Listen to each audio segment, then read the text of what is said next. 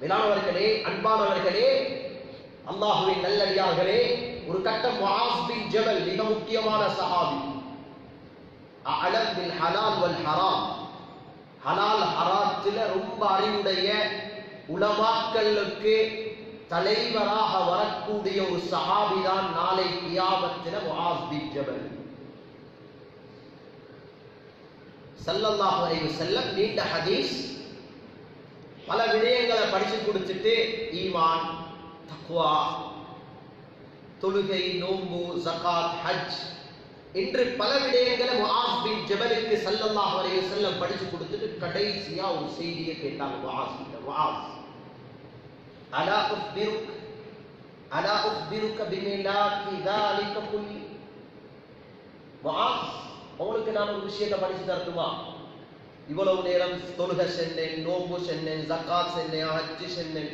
பல கடமைகள் உங்களுக்கு நான் சொல்லியிருக்கிறேன் ஆறாயிரத்தி அறுநூத்தி அறுபத்தி ஆறு குரான் வசனங்கள் இருபத்தஞ்சு லட்சத்துக்கும் மேலான ஹதீசுகள்.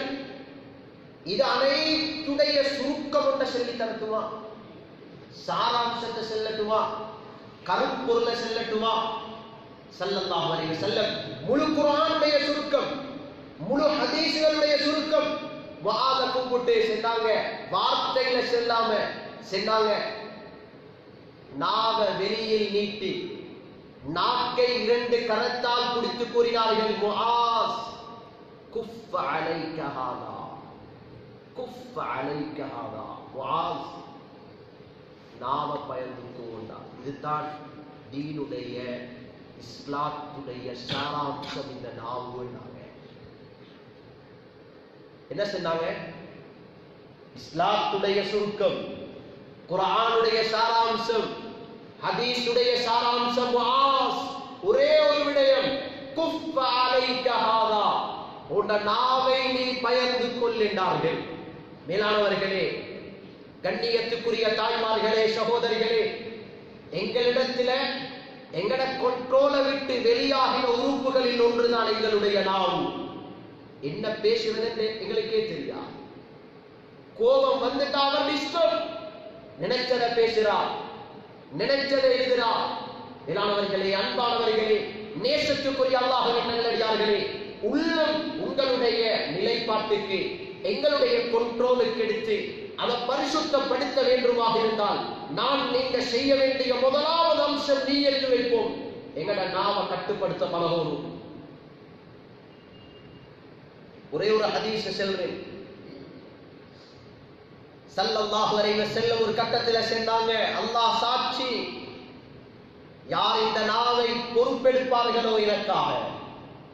இந்த நாவை கட்டுப்படுத்த யார் பொறுப்பெடுப்பீர்களோ இந்த மஜ்லிஸில் சல்லல்லாஹு அலைஹி வஸல்லம் கூறினார்கள் நாவை கட்டுப்படுத்த யார் பொறுப்பெடுப்பாரோ அவரை சொர்க்கம் நுழைவிப்பதை நான் பொறுப்பெடுக்கிறேன் என்றார்கள். நாவை கட்டுப்படுத்த நீங்க பொறுப்பெடுங்க. நபியவங்க பொறுப்பெடுப்பாங்க உடைய சொர்க்கம் கூட்டு போக. அவ்வளவு மிக முக்கியமான ஆயுதம் அவ்வளவு மிக முக்கியமான பகுதி எங்களுடைய நாவுமையானவர்கள் ரமதான் வந்தும் கூட இன்னும் பக்குவம் இல்லை எங்களுக்கு. பேசக்கூடிய நான் ரொம்ப தேவையுள்ளவன். அபு துஜானா ரதி அல்லாஹும் எவ்வளவு சிறந்த சஹாபி. எல்லாருக்கும் தெரிந்த சஹாபி. அபு துஜானா பதர்ல கலந்து கொண்டிருக்கிறார். பைஅத்துர் ரிதுவான்ல கலந்து கொண்டார். பதில் சொர்க்கவாதி. யாரை கலந்து கொண்டார்களோ? பதிலுடைய யுத்தம் சுபஹானல்லாஹ் ஈமான சுப்பிய யுத்தம் அது. சின்னொரு கூட்டம். மிகப்பெரும் எதிரிகளை எதிர்க்க வேண்டிய கட்டம். அந்த பதிலுடைய களத்தில் ஹதரத்தை அபு துஜனா அபு துஜானா ரதி அல்லாஹ் இருந்தார்கள் பதில் சஹாபி. அது மட்டுமல்ல மேலானவர்களே. பைஅத்துர் ரிதுவான்ல கலந்து கொண்டவர். பல யுத்தங்கள்ல கலந்து கொண்டவர் மட்டுமல்ல அவரது சிறப்பம்சம். அவருடைய மிக விசேஷமான ஒன்றுதான். மிக விசேஷமான தன்மை ஒன்றுதான். நபியவர்களுடைய இருபத்தி மூணு வருஷ காலத்திலையும் நபியவர்களோடு இருந்தவர். எல்லாருக்கும் இந்த பாக்கியம் கிடைக்கல. நபியவர்களை இருபத்தி மூணு வருஷ காலத்திலையும் சொஹ்பத் தோல்மை துவம் கிடைத்த சஹாபாக்கள் மிகவும் அரிது. பட்டியல் போட்டிருக்கிறார் அல்லமா ஹாஃபிஸ் இருநூறு சஹாபாக்களுக்கு தான் அந்த பாக்கியம் கிடைச்சிச்சு. அதில் உண்டு அபு துஜானா. ரதியல்லாஹு அன்ஹு. மக்காலையும் மதீனால ரெண்டையும் இருந்தவர். எல்லா இடத்திலையும் இருந்த சஹாபி அது மாத்திரமல்ல மிக பெரும் சிறப்பு. அதர் தபு துஜானா ரலியல்லாஹு அன்ஹுடைய கையில தான் நபி அவர்களுடைய வால் இருந்துச்சு. நான் மஜ்லிஸ்ல பேசிக்கொண்டிருக்கும் பொழுது கேட்டாங்க என்ற வாள் இருக்குது என் ஆயுதம். நபி வால். வாள் யார் எடுக்கிறது இந்த வாளை? மைய புதுஹாத செய்வ பிஹத்தி யார் இந்த வாளுடைய உரிமையை தேடி வாளை சுமக்கிறதுக்கு யார் இருக்கிறீங்க? அபூபக்கரது எல்லாம் மீதியாயிட்டாங்கப்பா அந்த வால் ஹக்க நான் எப்படி நிறைவேற்றுவது? அதற்கு உமர்றது அல்லா எழுதி சொன்னாங்க வாள் எனக்கு விருப்பமான சாமன் நான் யார சூழல்லாம் தான் அலி ரதி அல்லாஹ் அவர்கள் எழுதினாங்க யார் சூழல்லாம் எனக்கும் விருப்பமான சொத்து என கையில தாங்க? ஹதரத் உஸ்மான் ஒன்றும் பேசல அமைதியா இருந்தார். ஜுபைர் பின் அவ்வாம் ரலியல்லாஹு அன்ஹு எழுப்பினாங்க யா ரசூலல்லாஹ் எனக்கு அந்த வாளை தாங்க. அதனுடன் ஹதரத்தை அபூ துஜானா ரலியல்லாஹு அன்ஹு எழுதி சொன்னாங்க யா ரசூலல்லாஹ் அதனுடைய உரிமையுடன் அந்த வாளை நான் சுமக்குகிறேன் என்னிடம் ஒப்படையுங்கள். நபி அவர்கள் தூக்கி கொடுத்தாங்க இதாங்க வாள் வச்சுக்கோங்க. சுப்ஹானல்லாஹ் நீண்ட சம்பவம் மேலானவர்களே. மிக சிறப்பான சஹாபி ஹதரத்தை அபூ துஜானா ரலியல்லாஹு அன்பு பல யுத்தங்கள்ல கலந்து கொண்ட சஹாபி ஹதரத் அபூபக்கர் சித்தி ரலியல்லாஹு அல்லாஹுவனுடைய ஆட்சி காலத்தில் நடந்த முசைலமத்துல் கத்தாவுடைய மிக பெரும் யுத்தத்தில் மிக அழகாக மிக துணிச்சலாக எதிரிகளுக்கு எதிர்ப்பாக யுத்தம் செய்த சஹாபி சக்கராத். கடைசி நேரம். பத்ர் சஹாபி பைஅத்துர் ரித்வான் சஹாபி நபியவங்களோட வாழ் கையில் இருக்கக்கூடிய சஹாபி அவ்வளவு சிறந்த இருக்கும் பொழுது சஹாபாக்கள் வராங்க ஜியாரத்துக்கு. வந்து பார்த்தால் ஆச்சரியம் என்ன தெரியுமா? அபூ துஜானா ரலியல்லாஹு அன்பு அவர்களுடைய முகமோ பிரகாசித்துக் கொண்டிருக்கின்றது. ஜொலித்துக் கொண்டிருக்கின்றது. சுப்ஹானல்லாஹ் சில ரிவாயத்தில் இருக்குது. எத்தஹல்லல் கல் கமரி தீ லைலத்தில் பத்ர். பதினேழாவது அன்று வரக்கூடிய சந்திரன் எவ்வளவு பிரகாசமோ அதை போன்று பிரகாசம் அபு துஜானாவுடைய முகத்தில் வீசிக் கொண்டிருக்குது. சில சகாபாக்கள் போனாங்க. சொன்னாங்க ஓ அபு துஜானா இவ்வளவு பெரிய சஹாபி நிச்சயமாக இவ்வளவு சிறப்புகள் எல்லாம் நிச்சயமாக வெளியாகும். ஆனால் சந்தேகம் எதற்காக இந்த பாக்கியத்தை எல்லாம் உனக்கு நசீவாக்கி இருக்கிறான் இவ்வளோ சக்கராத்துல இவ்வளோ வருத்தத்துல இவ்வளோ நெருக்கடியில் இருக்கும் பொழுது கூட உங்களுடைய முகம் இவ்வளவு அழகாக தொழிற்சி கொண்டிருக்கின்றது பிரகாசித்துக் கொண்டிருக்கின்றது. என்ன காரணம் என்று கேட்டார்கள்? மேலானவர்களே அன்பானவர்களே நேசத்துக்குரிய தாய்மார்களே சகோதரிகளே நாம் விற்ற அமல் அதுதான். நாம் இழந்த அமல் அதுதான். இப்ப யோசிப்போம் எப்படி நாட்டை கட்டுப்படுத்துறது?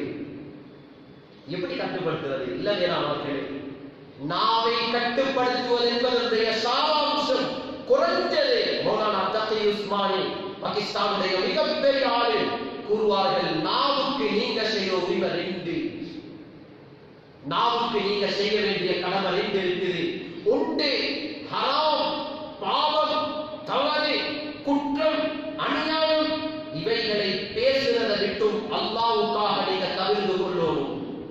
பாவத்தை பேசக்கூடாது. நியத்திருப்போமா இன்ஷா அல்லாஹ் ஹிம்மத்திருப்போமா இன்ஷா அல்லாஹ் ஹராத்தை பேசக்கூடாது. இது முதலாவது கடவுள். இரண்டாவது இந்த கடவுள். இதை செய்யலாம் முதலாவது கடமை இரண்டாவது கடமை துவா செய்ய அல்லாஹ் நசீவாக்குவார். அல்லாஹ் நசீவாக்குவார். நாவினால் பாவத்தை கண்டால் தடுப்பது.